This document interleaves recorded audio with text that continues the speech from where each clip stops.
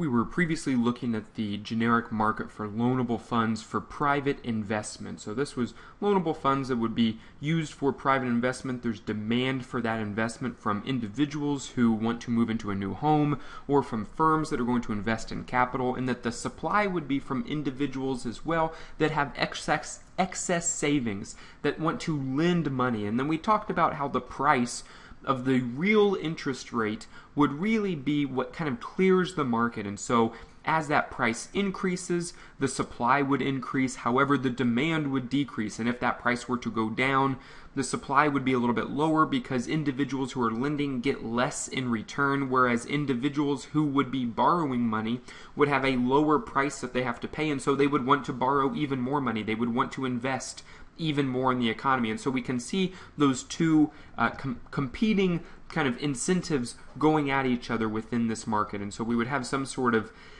equilibrium point as well. What I want to do is consider now some shifts that might exist in the market. So I'm going to bring this down here a little bit and give us uh, a little bit of space. And we're going to be looking at three different markets here or considering three different scenarios. The first scenario I want to consider would be a policy, uh, and we'll kind of mark this over here. This would be a policy where, uh, let's say, the government wants to incentivize, in, uh, wants to incentivize savings. So the government wants to incentivize savings.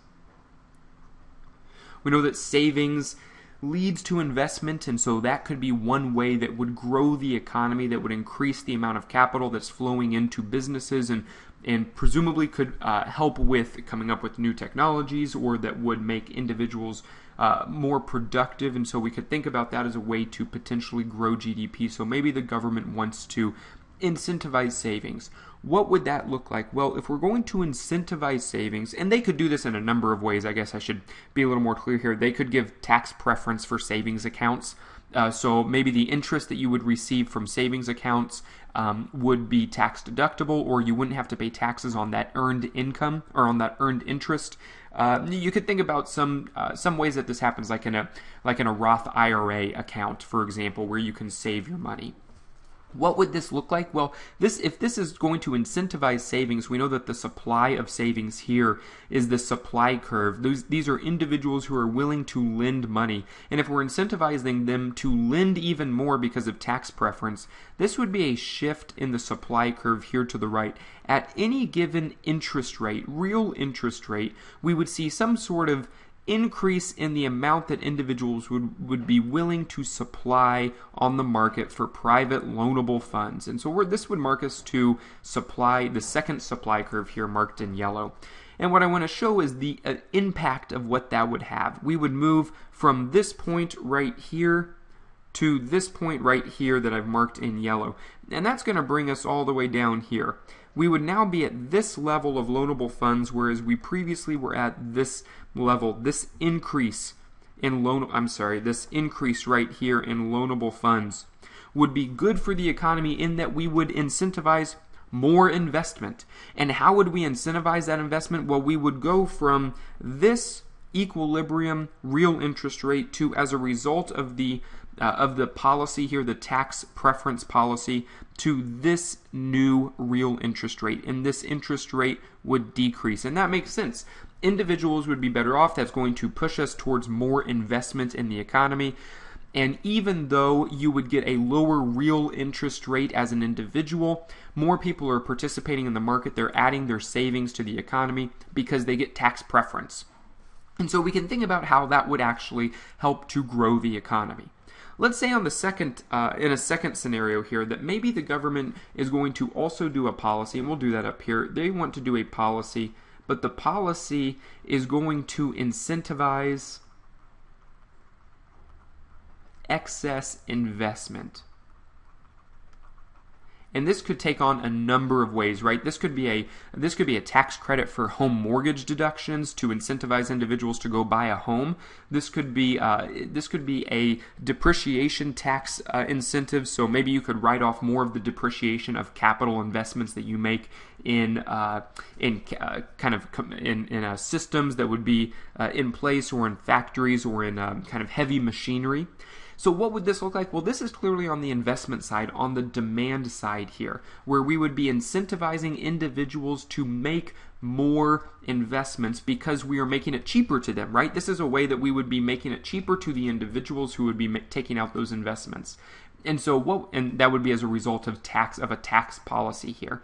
So what would that do? Well, that would be incentivizing, that would be shifting the demand curve to the right. At every given interest rate, we would have individuals or firms that would be wanting to borrow more money at any given interest real interest rate because that because of that tax policy that is going to give them a break on their taxes.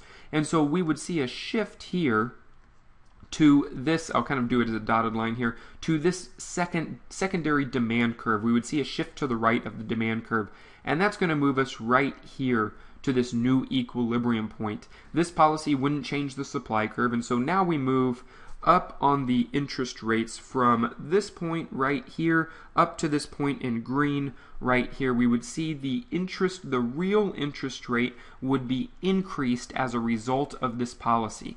The offset, though, is that we would get more funds invested into the economy. We would go from this amount of loanable funds to this amount of loanable funds on the private market.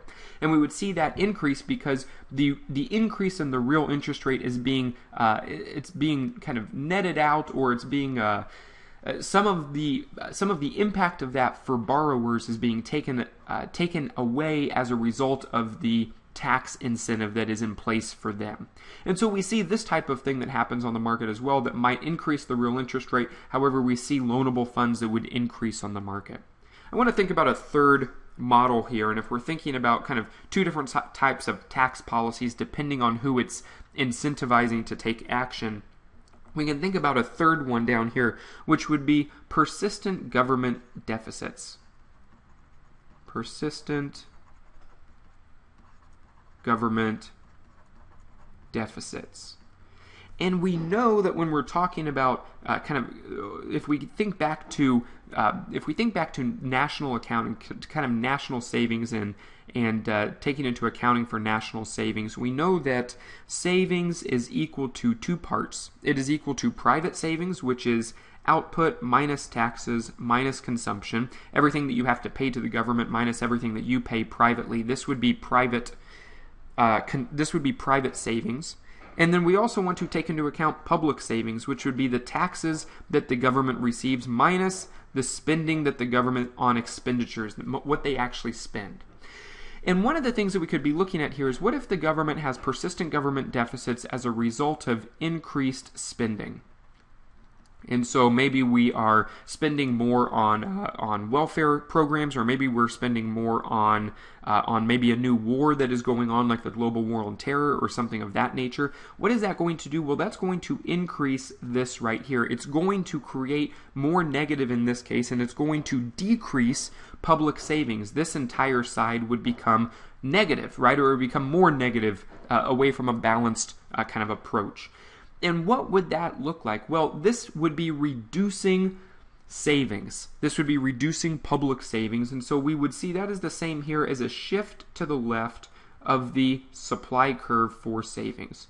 And so I'm just going to mark it here where we would look at the supply curve shifting to the left as a result of a decrease in public savings. And we would have this new supply curve here, which would move us to this point.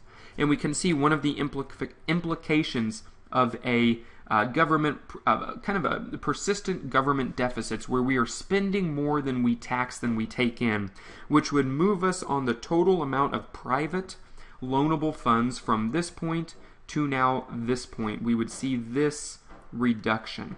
This is generally kind of the term that we would think about this is it's called crowding out. And crowding out means that private investment would decrease as a result of the fact that the real interest rate is increasing because of government deficits. And so we also see that the government deficits here are creating a real or sorry, are creating an increase in the real interest rate. This is if we're looking at this as a private investment, as the loan, as the market for loanable funds for private investment. You could also come up with a, where a scenario where uh, instead of the government spending more, maybe the spending level stays the same, but taxes fall, which would have a different effect on the economy. But it would be really we'd be looking at the same thing here, where the demand curve would be shifting, but we would get uh, still an increase in the real interest rate. And this is kind of the most important thing here when we're thinking about, uh, in general, what government deficits can do, which is that they can lead to crowding out on the private market as a result of increased real interest rates. Now, I'll say that there is uh, not so, I mean, the theory itself holds up uh, as far as the thinking through of it. However, what we want to think through is that there might be specific reasons for running government deficits. Maybe it's because there's a recession uh, and you need to stimulate demand, or you need to uh, take into account that uh, maybe there is a war or something of that nature that does have some spending that only the government can really spend on. So we're willing to take lower savings at a certain amount of time, even if it might lead to higher real interest rates for a certain amount of time